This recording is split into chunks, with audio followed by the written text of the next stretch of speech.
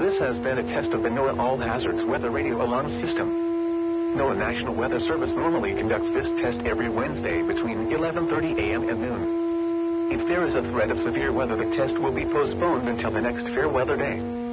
You will be informed between 7 a.m. and 11.30 a.m. each test day if the test will or will not be conducted. This test is conducted to give you the opportunity to ensure that your radio alarm system is in good working order. This has been a test